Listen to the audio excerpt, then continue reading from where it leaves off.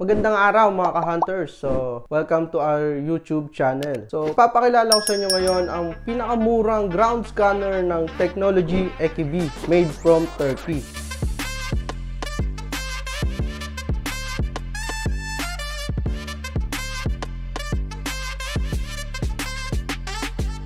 So yan mga ka-hunters, ito po yung mga 2-in-1 ground scanner. Yan, penetrator, X-meter, magnetometer, gradiometer at BH. Ang gumawa po niyan is Technology EKB made from Turkey. Meron po yan 2 years warranty.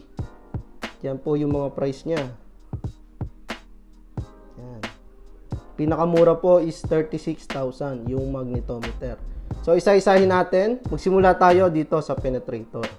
So, yung, yung penetrator is maximum depth niya, o es, maker estimated maximum depth is 12 meters or 39.36 feet. Ang battery life niya is 20 hours. Search system niya is two search system. So, yung isang system niya is parang live scan. So, ginagamit yon para malesen yung trabaho mo. Hindi naman pwedeng pag nag-ground scan ka is kada 5 metro mag-i-scan ka eh kung ilang ektarya yung i-scanin mo, mahirap po yun. So, yung isang pong ano niyan, para po malesen yung trabaho nyo, yung isang search system niya. Parang live scan. Maghahanap muna kayo ng suspect bago nyo i-ground scan. Yun po yung kagandahan dito sa mga sa limang to na galing sa Turkey, sa Technology EKB. Bukod sa mura, yan, madali pang siyang gamitin. Pero wala pa siyang customer testimony. Wala pa siya talaga nakakuha. Bago lang kasi itong equipment na to. So, sunod natin yung X-meter. Technology AKB. Uh, maker estimated maximum depth niya is 12 meters or 39.36 feet. Same lang po sa penetrator. Nga lang, mas mura to kaysa sa penetrator. Tapos yung battery life niya is 15 hours lang. Search system is two search system din. Ayan, parehas lang po ng penetrator. Sumunod na natin yung magnetometer. So si magnetometer is good lang goods lang po sa mga bakal or yung mga namamagnet. So based na rin sa pangalan niya is magnet, magnetometer. So ginagamit lang to sa pan, pantanggal ng mga bakal. So maganda rin gamitin to kasi meron din two search system din siya. Nga lang, nagana lang yung system niya sa mga bakal lang. 6 meters din yung kaya niya ma maabot. 20 hours yung battery life. Then, wala pa pong customer testimony. O, wala pang nakakakuha gamit ang ground scanner to. Kasi bago lang to eh. Pero napakamura pong ground scanner niya, 36,000.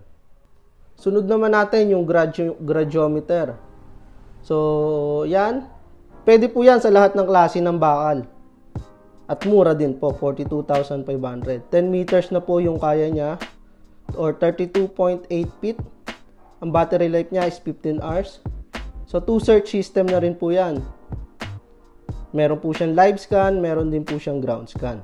Napakamura po. Sa halagang 42,500 ay may dalawa na kayong gamit. So, ito naman yung pinakamahal sa kanilang lima, yung BH9. So, yan. 15 meters or 49.2 feet. 12 hours battery life. Operating mode is dalawa rin po. Yan. Meron po siyang live scan and ground scan. So nga lang, ito po ay wala po siyang kasamang tablet or laptop. Pero pwede nyo siyang i-download sa mga Android phone nyo, yung, yung kanyang uh, software. Magagamit nyo yan gamit ang inyong Android phone. Yan, napakamura po niyan. Yan, yun po yung pinakamurang ground scanner na 2-in-1 search mode.